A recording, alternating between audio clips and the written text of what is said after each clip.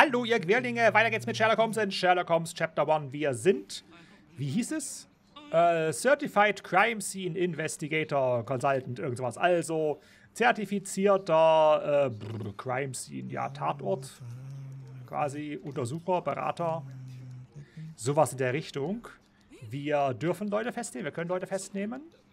Das äh, Polizei oder die Polizeiwache von Cordona ist komplett unterbesetzt, haben wir gelernt. Der Kollege da, der ist eigentlich ein ausgebildeter Inspektor und muss hier äh, an der Theke äh, seinen Dienst schieben. Es wird auch der Oberinspektor ähm, vermisst, aber das ist ein Fall, den wir noch nicht haben.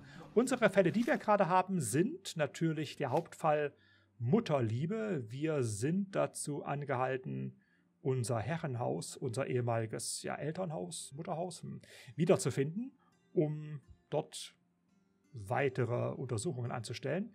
Wir haben aber am schwarzen Brett am Ende der letzten Episode auch diesen Fall hier gestartet, geschwungene Fäuste. Und äh, was heißt es denn dazu? Aussage des Dockarbeiters. Ich saß einfach nur da, als der Händler dem Soldaten einen Schlag verpasste und der Soldat dann auf meinen Tisch stürzte.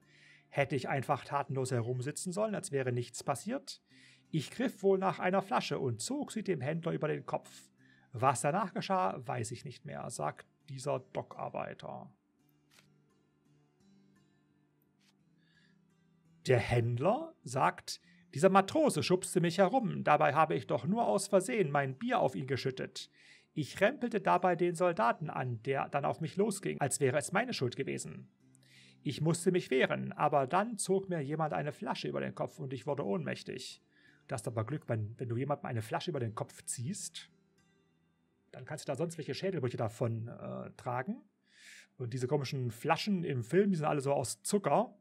Aber so eine richtige Flasche, also das ist eine Mordwaffe. Also, pff, was du Glück, dass du noch äh, überlebt hast hier, Freundchen. Aussage des Barmanns. Der Händler schüttete sein Bier auf den Matrosen und dann eskalierte das sofort. Ich weiß noch, dass der Matrose mit einem Stuhl nach dem Händler schlagen wollte, aber stattdessen den Dockarbeiter traf. Davon hat der nichts erzählt. Das war alles, was ich gesehen habe, weil ich mich dann hinter dem Tresen versteckt habe, um zu warten, bis sich die Lage wieder beruhigt hat. Und das ist dann der Soldat. Der Händler schlug mir ins Gesicht und dabei ging meine Brille zu Bruch. Das war die einzige Brille, die ich hatte. Dieser osmanische Abschaum hasst jeden von uns. Wie lange müssen wir uns noch mit ihnen abgeben? Und Bericht Nummer 1804. Bei einer Schlägerei in der Bar Golden Eel, Goldener Aal, wurde ein Matrose erstochen. Ach du meine Güte. Die Bar befindet sich an der Scarlet Street in der Altstadt, westlich von der Sesam Street. Verdächtige, der Soldat, der Dockarbeiter und der Händler. Alle Verdächtigen wurden vorläufig festgenommen. Für den Fall sind weitere Ermittlungen nötig. Okay, das klingt nicht uninteressant, aber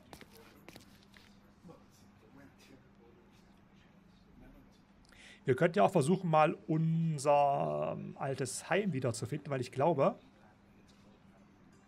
also ich weiß nicht, ob es so ist, aber es wäre natürlich rein von der Spielmechanik her gut, und sehr naheliegend, dass wir dort eine Art Basis einrichten. Denn im Moment haben wir eine ganze Nacht lang nicht geschlafen, was spielmechanisch egal ist, rollenspielerisch nicht.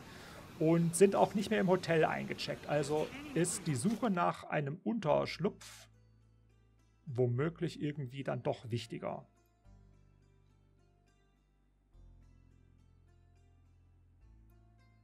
So, die Markierung hier. Ähm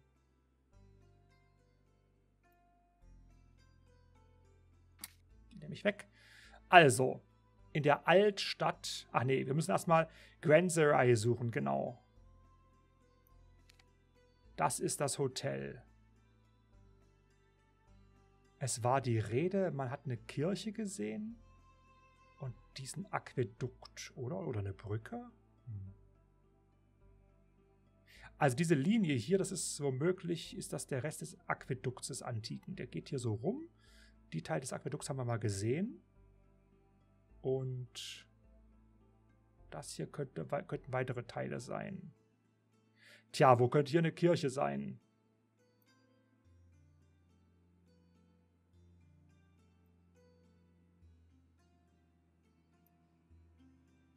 Wir müssen, um das Haus zu finden, das hier sowieso an Markon. Ach, wir können Leute danach befragen. Verstehe. Aber dazu sollten wir wahrscheinlich erstmal nach Grand Serai gehen, richtig? Dazu muss ich im Grunde genommen immer nach Süden gehen. Das kriegen wir hin, irgendwie. Da laufe ich jetzt mal ein bisschen schneller, weil sonst brauche ich den Rest der Episode, um dorthin zu kommen.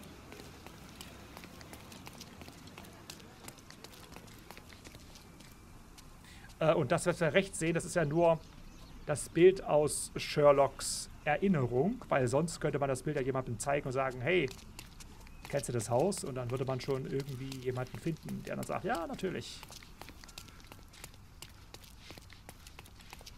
Aber schon erstaunlich, dass er so traumatisiert war, dass er irgendwie alles vergessen hat.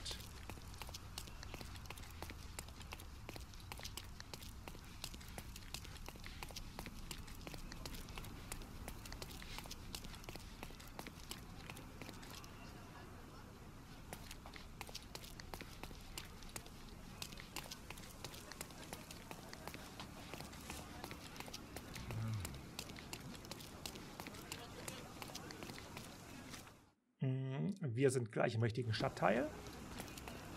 Brücke Kirche auf einem Hügel.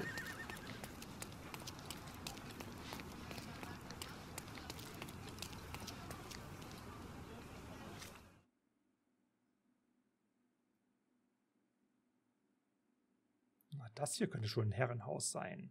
Ist das hier links? Das ist ja auch irgendwie ein Herrenhaus, aber das hat so dreieckige Giebel. Das passt nicht. Rein von der Stadtkarte her, denke ich, könnte es das hier vielleicht sein. Hügel, Kirche und so, Brücke, hm, wer weiß. Wir gehen mal rechts rum bis zu einem Kreisverkehr und dann links rum, die LeBlanc Road.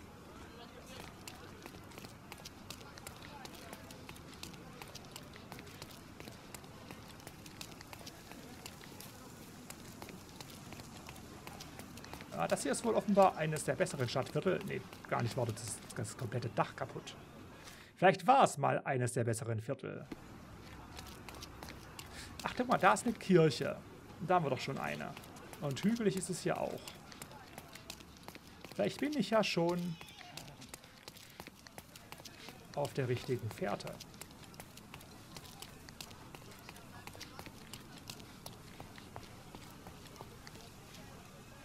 Also ich behaupte, dass es hier jetzt links rum, dann rechts hoch, dass das vielleicht sein könnte. Ja, das ist es auch, natürlich. Ich habe es gleich richtig gefunden. Ein Blick auf die Karte und ich wusste, wo das wohl sein muss. Da muss auch niemanden fragen. Hey Sherry, there's post here. Post? and it seems as if the letter was delivered recently. Aha.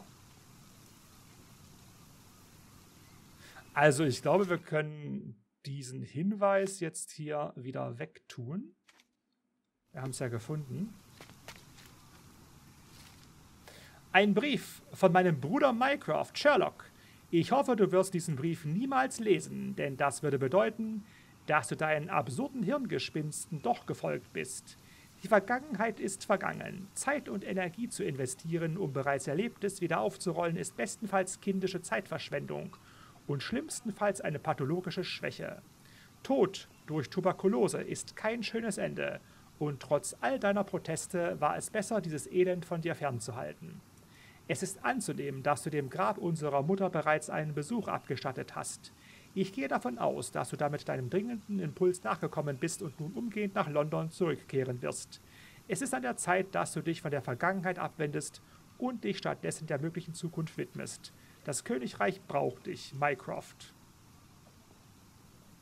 Warum ist er so interessiert daran, hier nichts weiter zu untersuchen? Ich meine, es ist ja auch seine Mutter gewesen. After reading that, I am even less eager to return home than before. Let's investigate our manor. That's the Mycroft I know.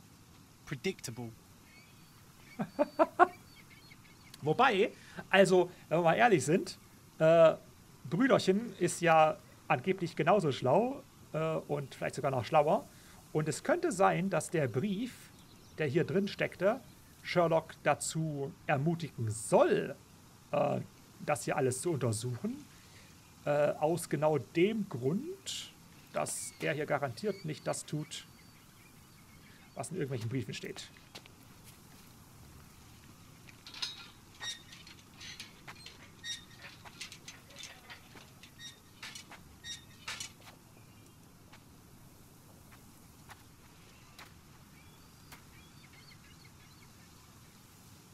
She is. Our old manor.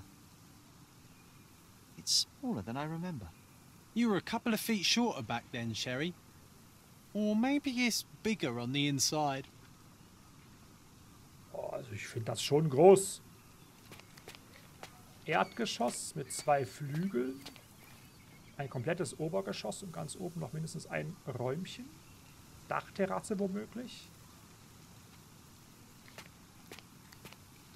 Wir gehen mal rundherum.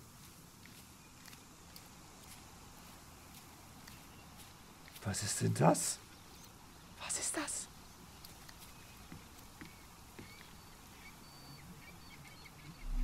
Was ist das?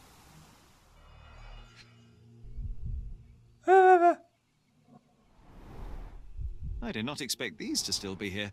It was enjoyable to practice using real handcuffs to make an arrest. Okay. Das ist ein Spielzeug gewesen.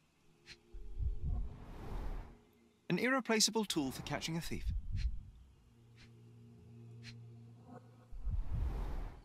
And this must be the reason our suspect was apprehended. Wood and glass, very precious.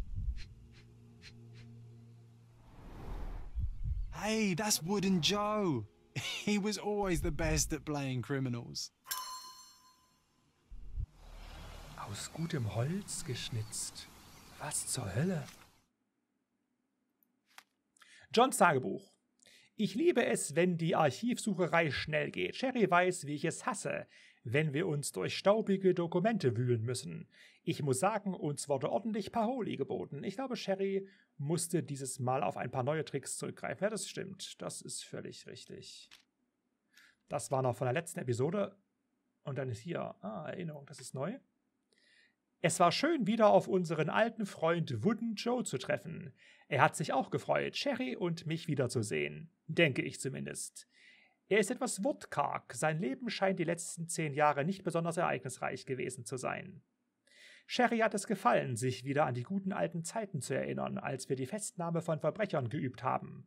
Joe hat die Rolle des Schurken stets am besten gespielt, und ich war immer erstaunt darüber, wie viel Geduld er aufbringen konnte. Andererseits, da wir echte Handschellen benutzt haben, ist ihm wahrscheinlich nichts anderes übrig geblieben. Aus gutem Holz geschnitzt, eine Erinnerung. Okay, echte Handschellen. Warum werden die so rot hervorgehoben? Das ist verdächtig. Fallmappe. Wir haben den Brief von Brüderchen Mycroft und wir haben einen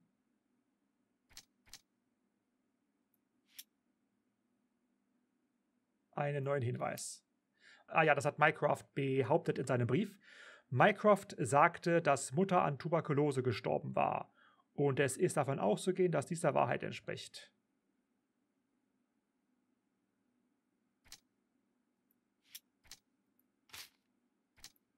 Warum gibt es dann eine Polizeiakte, wenn jemand an Tuberkulose stirbt?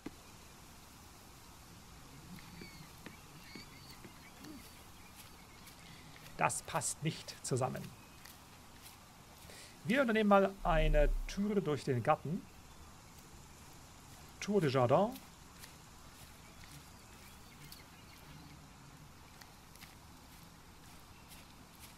Hier wachsen überall die Orangen. Äh, die Kiste ist doch relativ groß. Oh, guck mal, meine Güte. Wenn du so ein Haus hast, was da putzen musst. Boah.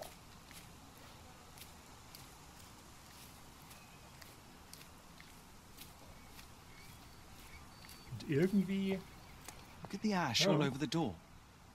I don't recall hearing of a fire. We don't have to stay here. You can afford another night or two at the hotel. Hmm. It's stuck. Oh well, let's just head back. They probably haven't even stripped our room yet. Come on. Must be locked. Move aside. Let me have a go. Seems fine to me, Sherry. This barrier. Perhaps it's mental, not physical.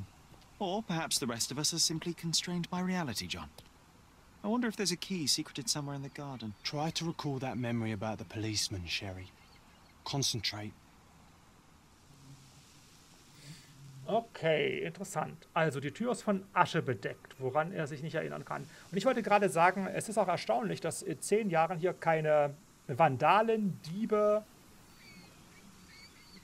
Obdachlosen oder sonst irgendwer hier gedacht hat, oh, das ist doch eigentlich eine coole Bude. Hm. Also, Schlüssel im Garten. Moment mal, da muss ich doch bestimmt wieder hier irgendwie was anheften, gell? Natürlich. John forderte mich auf, zu versuchen, mich vollständig an die Sache mit dem Polizisten vor unserem Herrenhaus zu erinnern. Na dann.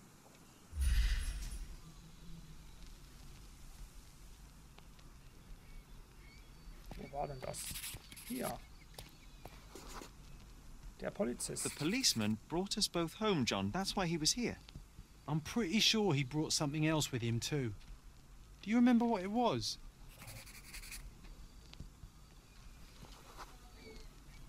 I bet it was our reward. No, we were not so lucky.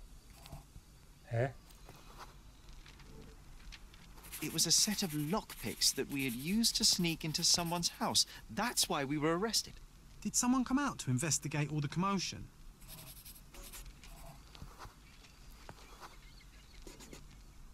It was Mycroft.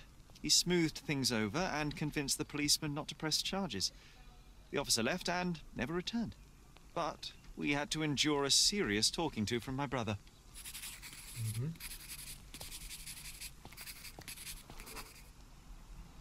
Mycroft wasn't happy about the fact that we were arrested. It felt like he lectured us for hours. Did we give him something afterwards, Sherry? Oh, yes. Yes, now I remember.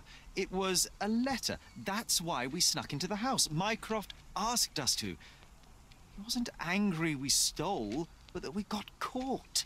Oh, that's right. It must have been only a couple of months after we moved to Cordona.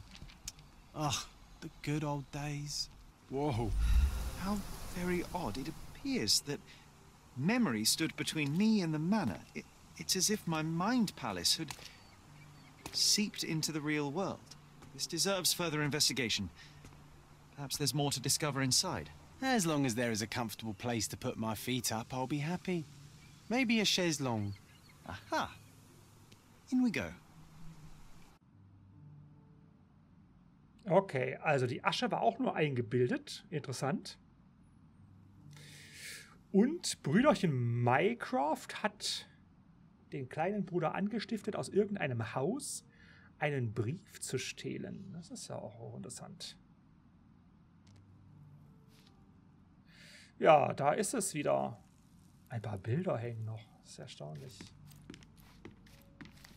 Und John sucht nach einem Chaiselon, hat aber nur eine Säule gefunden. Home sweet home, Sherry. Ja.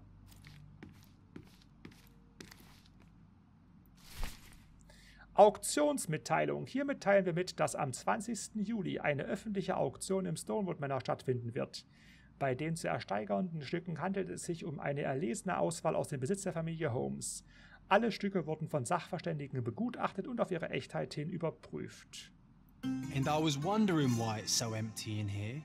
There may be a small chance that some of our property could be found among local traders' wares. It is worth a look, wouldn't you say? Eine, ein neuer Fall. Such überall auf der Insel Händler auf, um Einrichtungsgegenstände für das Herrenhaus der Familie Holmes zu ergattern. Achte stets auf Ausrufezeichen auf der Karte, die erscheinen, sobald ein Händler neue Ware anbietet. Okay. Lass uns checken. Was denkt John darüber? Hier, Dokumente. Die Auktionsmitteilung, genau, das haben wir gerade gesehen. Und hier die Erinnerungen. Ärger mit der Polizei. Etwa zwei Monate nach unserer Ankunft auf Cordona wären Sherry und ich beinahe im Gefängnis gelandet, nachdem wir bei einem Einbruch erwischt worden waren. Als der Polizist uns nach Hause brachte, war Mycroft der Trubel im Vorgarten nicht entgangen, und er eilte hinaus, um die Sache mit den Polizisten zu regeln. Der Officer ging und kam nie wieder. Im Anschluss daran nahm sich Mycroft Cherry zur Brust. Nicht, weil wir einen Einbruch begangen hatten, sondern weil wir dabei erwischt worden waren.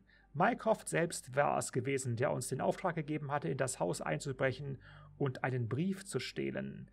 Er maßregelt seinen jüngeren Bruder zwar, war jedoch auch froh, dass wir den Brief an uns bringen konnten. Das ist ja auch interessant. Fallmappe. Das leere Haus. Hier. Zum ersten, zum zweiten, zum dritten. Kurz nachdem wir Cordona vor zehn Jahren verlassen hatten, wurden einige unserer Habseligkeiten bei einer öffentlichen Auktion versteigert. Auch wenn es unwahrscheinlich ist, die Sachen wiederzufinden, sollten wir dennoch die hiesigen Händler abklappern. Vor zehn Jahren, wow. Da brauchen wir Geld, Sherlock. Ich weiß nicht, ob 602 ähm, Geldeinheiten hier irgendwie besonders viel sind, wenn eine einfache Tageszeitung eine Geldeinheit kostet. Hm. Lampe? Ja. Nichts Besonderes. Oh, da drüben. Eieiei, überall. Überall.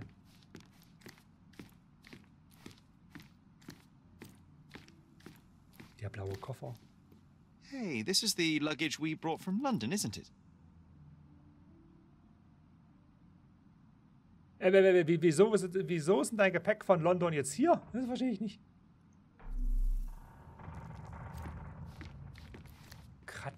Kratzspuren, warum denn das?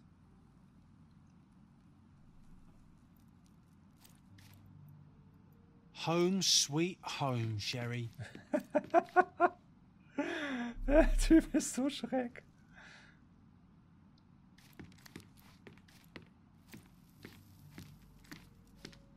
Eine Tageszeitung von Anno Tobak, oder? Über den Tod von Violet Holmes, 10. April 1869. Tragödie im Stonewood Manor. Mrs. Violet Holmes, die Witwe von Saiger Morland Holmes, verstarb am gestrigen 9. April 1869 unerwartet auf ihrem Anwesen. Sie hinterlässt zwei Söhne im Alter von 20 und 10 Jahren, wobei unklar ist, ob sie weiterhin im Stone Manor wohnhaft bleiben. Mrs. Holmes hatte das Anwesen erst vor einem Jahr käuflich erworben. Aha.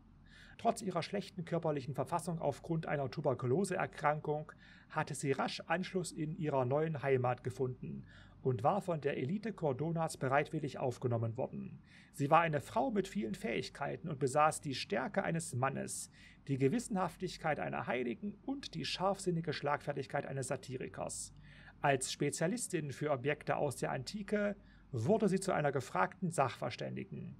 Die Polizei leitete nach ihrem Eintreffen auf dem Anwesen sogleich Ermittlungen ein, gab bisher jedoch keine Einzelheiten bekannt. Die Todesursache ist unbekannt.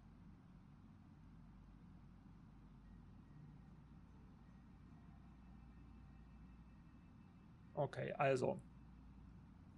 Sie hatte Kuber Kubertulose, genau. Also Kubertulose ist eine ganz schwere Krankheit. Also sie hatte Kubertulose und war in schlechter körperlicher Verfassung. Dennoch heißt es, dass sie unerwartet verstarb. Also so schlecht kann die körperliche Verfassung nicht gewesen sein, dass man ständig mit ihrem Tod hätte rechnen müssen. Außerdem hat Sherlock hier gar nicht seine Jugend verbracht oder seine Kindheit, denn denn der hat hier kaum ein Jahr gelebt.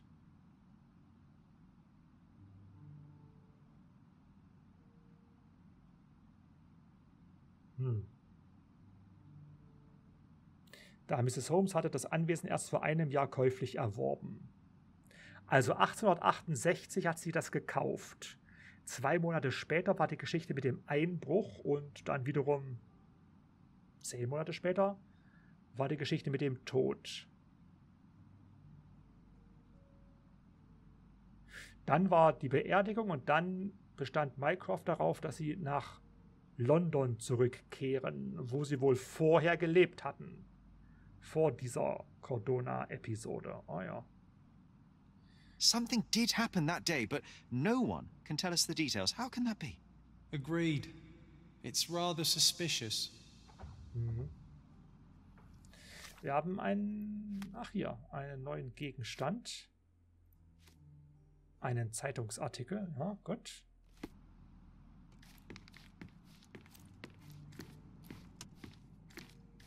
Bücher, die waren wohl offenbar nicht so wichtig für irgendwelche Auktionsbesucher.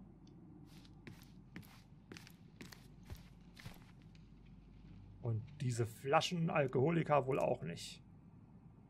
Wobei die Frage ja sogar ist, wenn die Holmes hier nur ein Jahr gewohnt haben, ob nicht manche dieser Dinge nicht sogar noch vom Vorbesitzer stammen. Weil so eine, so eine Bude leer zu ziehen, komplett, ist es ja auch ziemlich schwierig. Wo willst du das ganze Zeug hinbringen?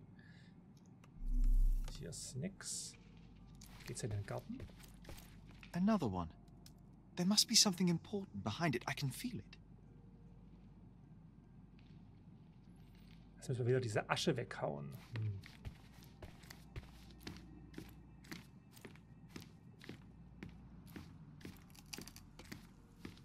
Diese Bilder.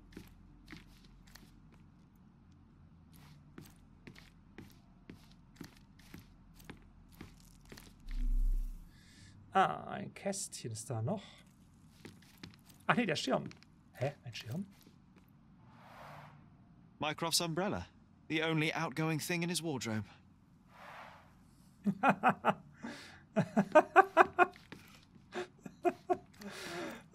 Also irgendwie gibt es da schon gewisse Spannungen zwischen den Brüdern, oder? Another one. There must be something important behind it. I can feel it. Ja.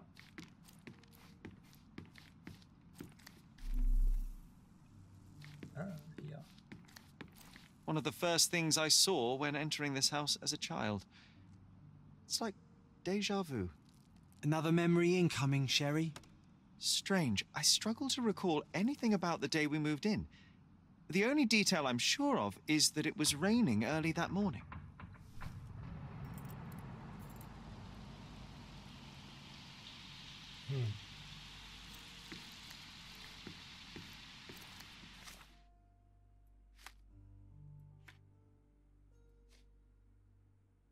John wollte wissen, ob ich mich an unseren ersten Tag auf Cordona erinnere. Wir kamen am frühen Morgen an. Es regnete gerade. Also, wenn.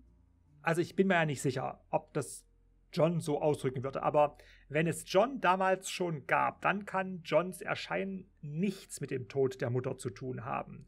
Allerdings, da John ein imaginärer Freund ist, ist es schon denkbar, dass er es so formuliert, dass er immer im Sinne von wir spricht.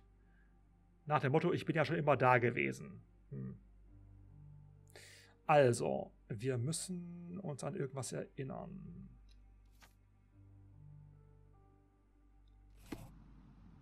Da ist was.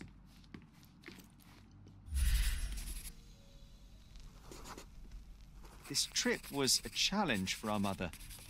I tried to help her.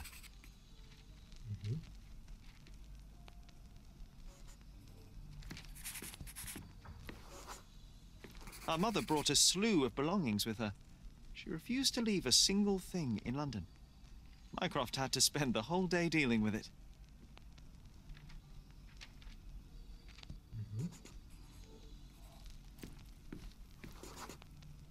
There was always a hat on our stand, but I'm sure it did not belong to Mycroft. Do you feel it?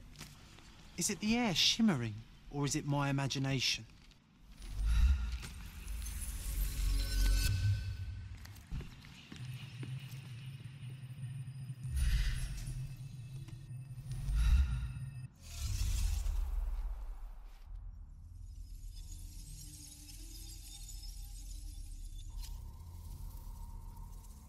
Hm. Was können wir jetzt aus dem, was der uns erzählt hat, woran er sich erinnern kann, was können wir daraus schließen?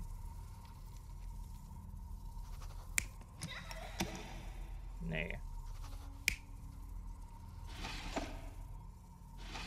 Brüderchen Minecraft.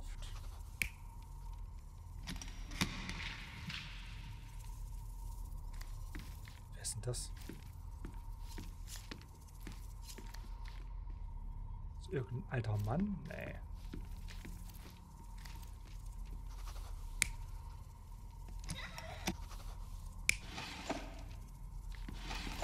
Also angeblich hat sich ja Mycroft den ganzen Tag um dieses Zeug hier gekümmert.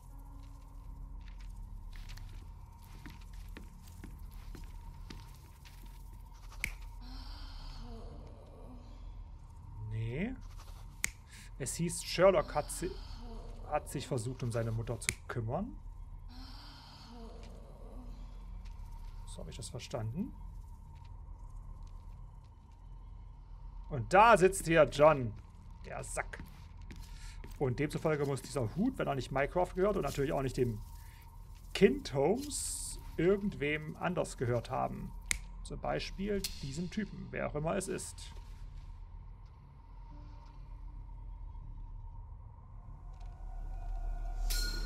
Your neighbors will be told that Mrs. Holmes is suffering from tuberculosis. It is common to move closer to the sea in such cases. Thank you, Dr. Richter. No, Sherlock, step away from her. Upstairs. Go to your room. Lean on me, Mother. Take your time. Actually, I never heard her coughing. I remember now. Hm. Seltsam. Ankunft auf Cordona. Es regnete an dem Tag, an dem wir früh am Morgen auf Cordona ankamen. Sherrys Mutter war schwach und ziemlich wackelig auf den Beinen. Daher wollte er ihr helfen. Mycroft war gerade mit dem Gepäck beschäftigt. Doch als er sah, wie sein kleiner Bruder versuchte, seiner Mutter zu helfen, trug er ihm auf, nach oben auf unser Zimmer zu gehen. Vielleicht hat sich was Ansteckendes. Also Tuberkulose ist ja ansteckend, aber sie hustet ja auch irgendwie nicht. Als letztes traf der Arzt auf dem Anwesen ein, Otto Richter. Er sagte, die Nachbarn würden sicher glauben, dass Violet an Tuberkulose leidet. Sherry wurde inzwischen klar, dass er sie damals nie hatte husten hören. Das kann irgendwie nicht sein bei Tuberkulose, oder? Oh, I feel dizzy. It's stuffy in here, isn't it? John, are you all right? I'll be okay in a minute. How about we uh, find our room in the meantime? Auf welchem Teppich standet ihr gerade? Freunde? Da war ein Teppich, ich hab's genau gesehen. Wo kommt dieser Schirm her? Hm. Geht's dir gut, Hase? Let's do it, Sherlock. Ja, langsam. Wir haben neue Dinge, die wir nochmal zusammenfassen wollen. Erinnerungen. Ankunft auf Gordona, das, was ich gerade vorgelesen habe. Okay, können wir ja nachlesen. Fallmappe. Meine Gedankenspiele scheinen in die reale Welt gesickert zu sein. Irgendetwas in meinem Geist hindert mich daran, einige Räume zu betreten. Vielleicht lösten sich diese Blockaden auf, wenn ich mich an mehr erinnere. John schlug vor, dass wir unser damaliges Zimmer finden. Ich glaube, es war irgendwo im oberen Stock. Ja, das ist naheliegend. Gedankenspiele. Mutter starb an Tuberkulose angeblich, sagt Mycroft. Meine Mutter litt nicht an Tuberkulose. Ich kann mich nicht daran erinnern, sie jemals stark husten gehört zu haben. Das ist ja irgendwie eine Verbindung. Mycroft hat gelogen. Mycroft verschleierte die Wahrheit über Mutters Tod und tischte mir die Tuberkulose-Lüge auf. Ganz genau, so sehe ich das. Unser erste, unsere erste Kombination in diesem verworrenen Fall. Aber der Mutter ging es ja offensichtlich schlecht.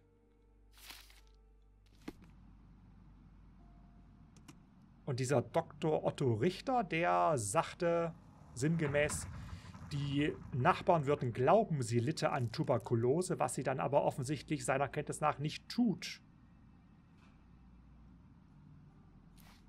Sonst würde er sich ausdrücken nach dem Motto, die Nachbarn werden schnell feststellen, dass sie an Tuberkulose leidet oder so etwas. Oder die Nachbarn werden sich zusammenreimen, dass sie an Tuberkulose leidet. Nicht, die Nachbarn werden denken, dass sie an Tuberkulose leidet. Das ist ja irgendwie eine andere Formulierung. Okay, wir können nach oben gehen das Kinderzimmer aufsuchen und dort vielleicht die nächsten Dinge rekapitulieren. Hm. Aber das würde ich mir gerne aufheben für eine frische Episode, denn das möchte ich inhaltlich auch nicht unterbrechen. Ich denke, wir sind gut vorangekommen, haben hier jetzt das Häuschen, in dem wir noch einiges werden ähm, untersuchen müssen. Und das wird uns wohl eine Weile begleiten über das ganze Spiel hin. Ich denke ja, dass wenn wir irgendwelche Einrichtungsgegenstände finden, dass wir die dann hier wirklich im Haus dann auch wiedersehen und wiederfinden. Dazu brauchen wir aber auch Geld. Wobei ich irgendwie auch unsicher bin, ob Sherlock jetzt wirklich, wenn er hier nur zehn Monate in diesem Haus gewohnt hat, ob das jetzt irgendwie so eine emotionale Bindung zu diesem Haus jetzt hier gibt. Wo doch Cordona relativ abgelegen zu sein scheint. Das ist ja das Nächste. Nun gut, es gibt viel zu untersuchen, vieles zu hinterfragen. Und damit machen wir weiter im nächsten Teil. Bis dahin.